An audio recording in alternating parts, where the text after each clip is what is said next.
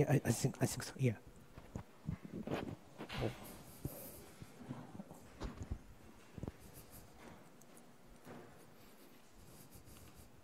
Okay, so yeah.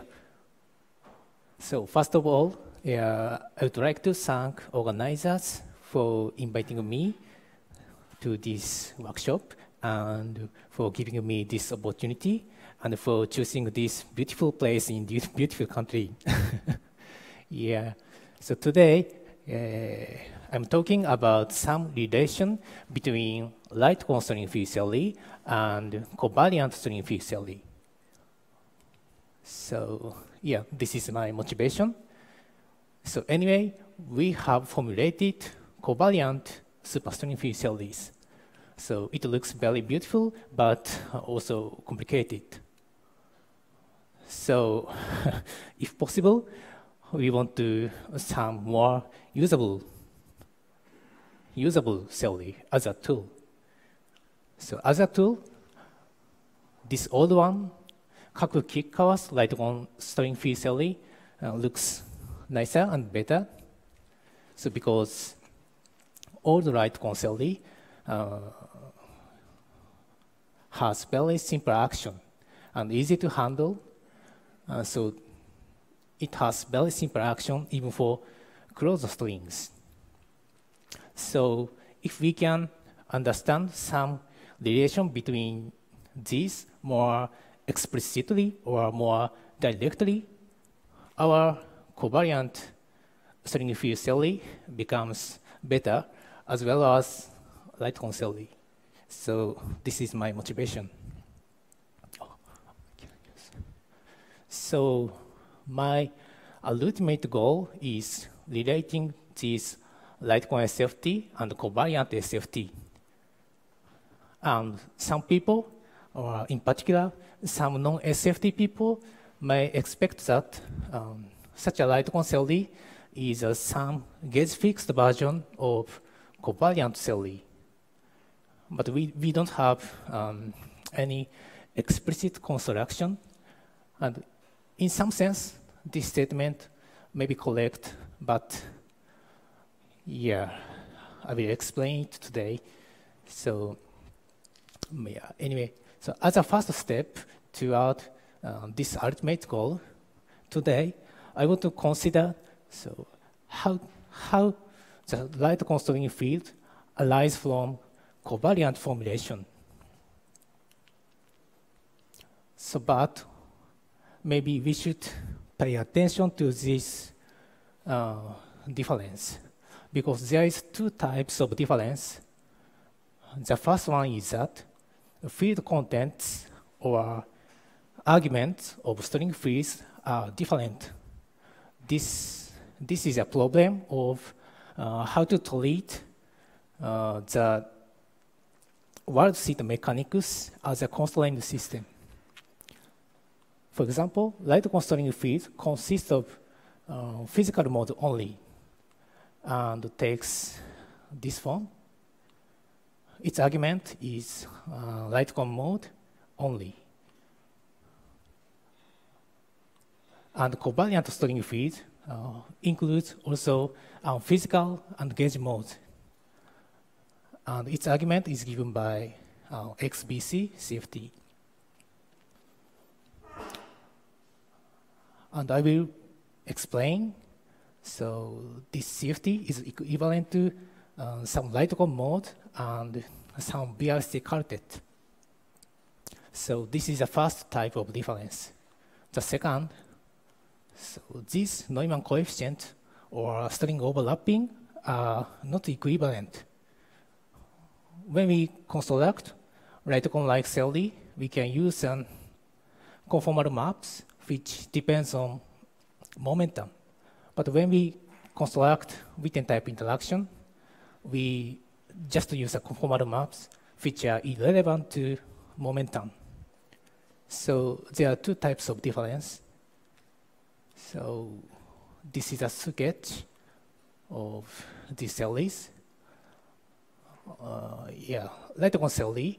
Uh, the field of light cone theory light cone string field consists of physical modes only, and its interaction is manifestly p-dependent.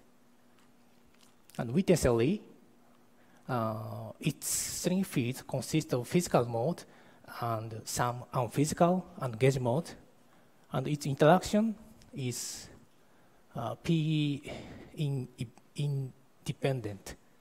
So we can expect um, like a this sketch. So in the class of Witten vertex, we can consider, um, I mean, its string field consists of physical modes only, and its interaction is given by Witten type, and like that. And these are equivalent under some field redefinitions. So in, the, in this talk, uh, I will talk about this step.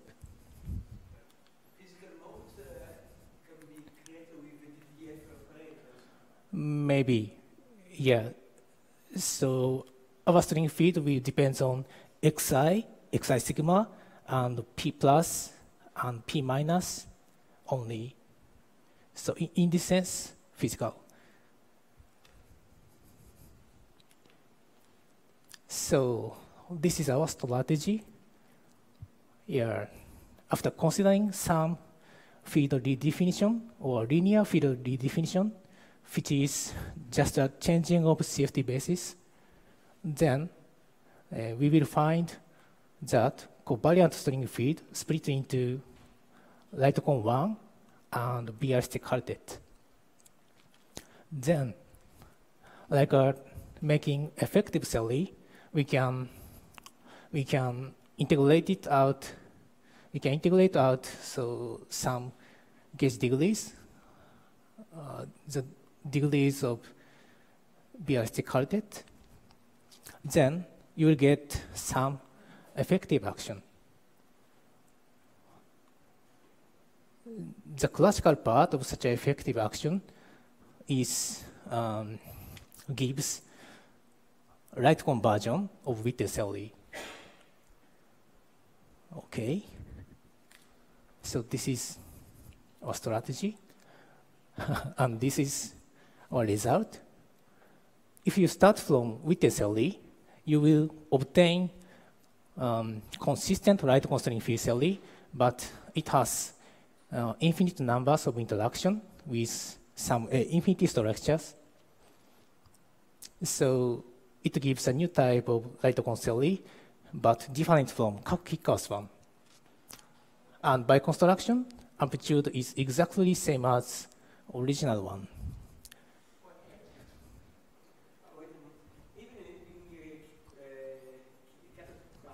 Mm -hmm. You have uh, terms. Yeah. Yeah, for, for open, open. Yeah. Yes, probably also higher. Nobody has a exercise no really look at it. Yeah, yeah, yeah. Higher, so it is not that kind of surprise. Mm -hmm. Yeah. Yeah. So we believe that Kikkawa's one stopped until quartic. Oh, oh, yeah, okay, okay. So, yeah, this is half of my talk. it was introduction and summary of my talk. So uh, half of my talk is finished. The rest of my talk is just a technical part. So first, I want to sketch um, this light cone reduction more, more, more explicitly. And after that, I want to explain its um, its mathematical aspect and other example. Okay. So here, before explain before explaining light cone reduction, I want to give some short review of BRST quartet because uh, this BRST quartet plays very important role in the reduction Yes, so yeah, to see it, let us consider the decomposition of covariant Virasoro zero mode. We can decompose it like this. Then, as you know, this operator, which I call it n, count the excitation number of this quartet. And further, uh, on this quartet, we can define uh, this type of nilpotent operator, and it generates uh, this type of BRST transformations. And further, this n, oh.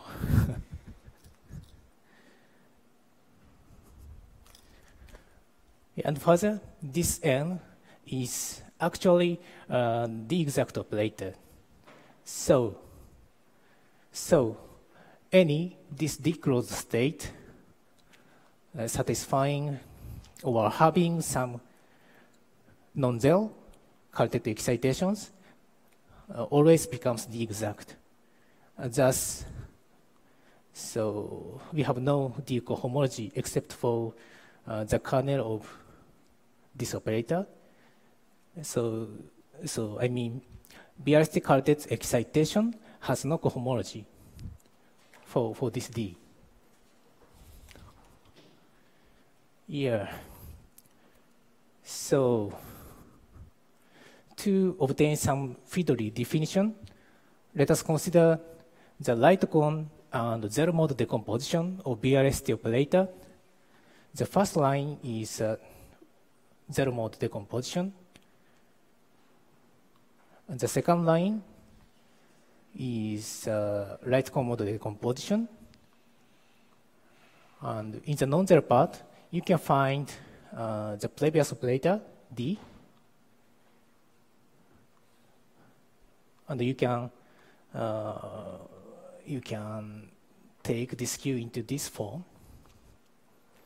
And we know that the cohomology of Q and the cohomology of this term uh, are equivalent.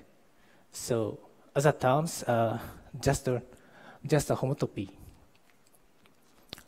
And after some computations, you can find uh, similarity transformation form by using um, yeah quartet and and uh, yeah light cone and differential on quartet. So we can start with this form. And this U um, gives this field redefinition. Let me explain more detail. Here, we know BRST quartet has no cohomology except for except for uh, light cone state space. So it implies that we have these types of decomposition by using D and this H. So, so because of this relation, um, our string field can split into physical part and BRST quartet part. So now we can we can integrate this quartet out. And one comment, this H uh, behaves as a, as a kind of propagator. So, yeah, because this relation is parallel to um, this relation. So we consider this type of linear field redefinition. Then our Witten theory uh, becomes like this. So this theory is, of course, covariant and have gauge invariance. So, yeah, using this theory, we want to construct some effective action by path integrating out um, physical and gauge degrees. So very roughly speaking, we can, we can expand string field like this. Then action becomes like this. And by solving equations of motion for quartet, and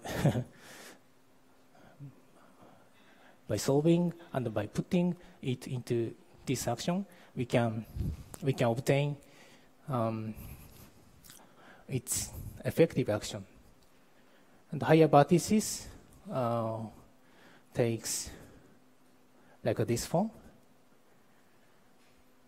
So in these higher vertices, uh, this edge behaves as a pro propagator and on all input and on output, there is a projector onto uh, light cone state space. So this is a sketch of reduction. Next, uh, I would like to explain uh, its mathematical part. So here, the key tool is so-called homological perturbation. So this lemma has two inputs. The first one is called as standard situation. Let me explain. So in this standard situation, uh, V and W are vector space, and del V and del, del W are nilpotent operators acting on these vector spaces. So we can consider their cohomology, uh, for example, on left-hand side and on right-hand side. And the standard situation is a very special situation in which uh, the cohom these cohomology are equivalent. So there is a homotopy equivalence relation. And the second input of this lemma is a perturbation, uh, which is an operator satisfying this relation. Then this lemma uh, will tell us or will give us a new standard situation. So by using two input, we can obtain a new standard situation. And the standard situation is very natural in, in gauge theories. So because here, this homotopy equivalence relation, we, we, we often meet this relation in physics. So in the left-hand side, for example, we have uh, this type of theory, and uh, its cohomology will correspond to its physical state. Then, this type of relation implies that the field split into physical part and uh, physical plus gauge part. Then, standard situation implies that by integrating out this physical part, we can obtain an equivalent but reduced action. So this is the meaning of uh, standard situation. Thus, perturbation is very powerful. So because by using homological perturbation lemma, um, we can make a new standard situation from a given known situation. And in this situation, the left hand side, uh, left hand side and right hand side are physically equivalent. So our light cone reduction is one example of this lemma. Yeah, we can start with realistic quartet, and we know it has no homology. So we have very, very trivial standard situation.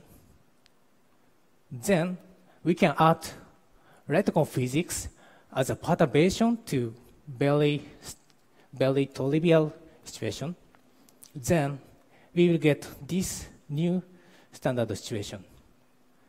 And it implies that uh, covariant string theory whose kinetic term is equivalent to, equivalent to Q is is or give the same physics as light cone 1. And by using this standard situation, uh, we can consider further perturbation. We can add interaction as a perturbation to this situation. Then we obtain this relation. The left-hand side is equivalent to Witten-Selly, and the right-hand side is equivalent to Rayton-Selly with interaction. So this is a explicit, explicit form of uh, Rayton vertices. Yeah, this is a result. And by using the same, same technique, uh, we can consider another example. In the light cone reduction, we removed all of the quartet. But, for example, we can remove almost all of the quartet yeah, except for n equal 1 in order to carry out such a reduction, we have to consider this type of D, D1, instead of previous D. Then, then we obtain uh, this type of string theory which consists of tachyon and covariant massless mode and Rayton-like massive higher modes. And this action has very, very small uh, gauge degrees. But in terms of string field, in this theory, such a gauge transformation is generated by this infinity form. And if you kill the remaining um, n equal 1 quartet, uh, of course, this theory reduces to the infinity Rayton theory. Yeah, let me summarize my talk. So, I constructed um, some light cone string theory from Witten theory. Then, this cell has infinity structure and different from uh, type interaction, but consistent as a light theory and no gauge degrees, and its S matrix, S matrix, at least classical S matrix is the same as a Witten theory. So yeah, in this sketch, uh, yeah, I explained this relation. So yeah. yeah, there's some other theory which is consistent, uh, which, which, which is, yeah, full string field is covariant, but interaction uh, is not covariant. It is given by very, very old papers. And yeah, of course you can consider this relation, but it's work in progress. And there's more, more older paper by Siegel, Zwiebach, and Kugo. It's OSP 26 2 2 extension of covariant theory. In this theory, string field consists of physical modes and covariant modes uh, plus one BRST quartet like this. Argument of string fields uh, becomes more, more larger, but just one quartet. So we can apply the same thing, technique to this theory, and then formally uh, we, we get an infinity closed string field theory whose string field is usual covariant one. Yeah. It's all. Thank you. uh, sorry. And I have one more slide. Grazie mille for real organizer.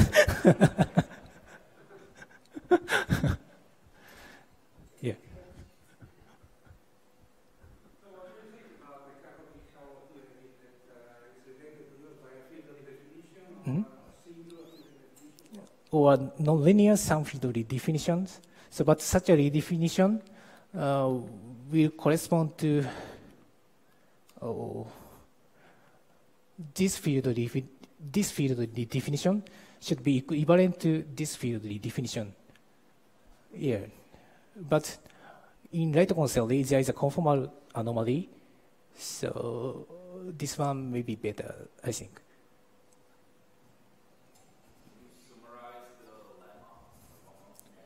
Lemma, uh, oh, perturbation, okay.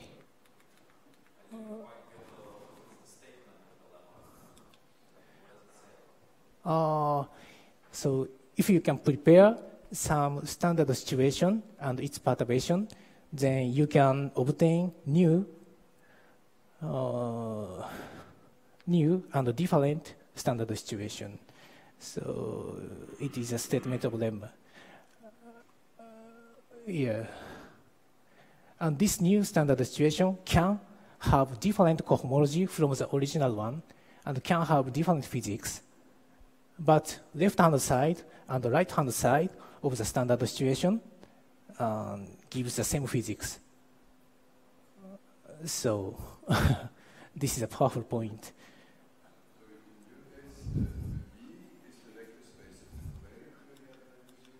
Yeah. Right concept, yes.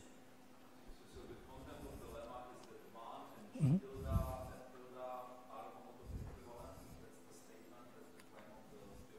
What, what, what, what did it, uh, uh, this one? Mm -hmm. Yes. Yes. And this lemma uh, tell you how to uh, make this explicitly. Yeah, yeah, yeah. Very, very old lemma. So this result may be trivial for mathematical physicists.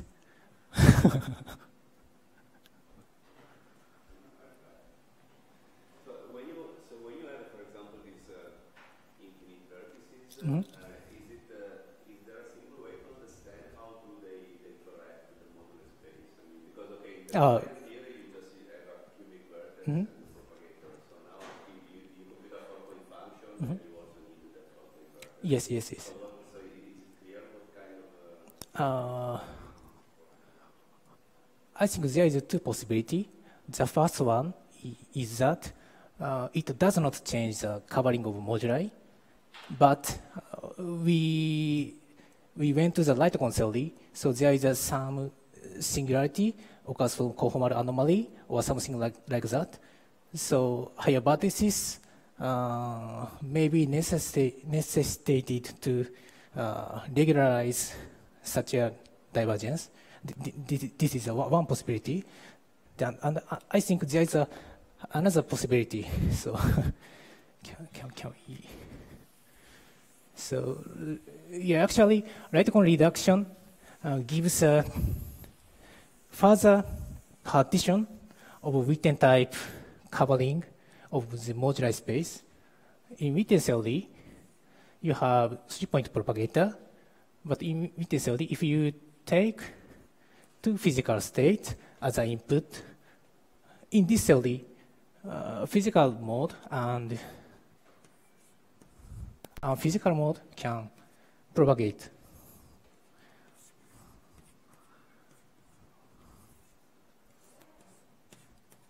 in the four-point vertex. But after the reduction, we can only use this type of four-point vertex, uh, which are made by using three-point vertex. So this one becomes um, 3 LC. So if diagram has some moduli, uh, carries some moduli, then uh, reduction will change the covering of moduli, but it, it is a, just a further partition of Witten type covering. So this is a second possibility. Yeah, yeah, yeah.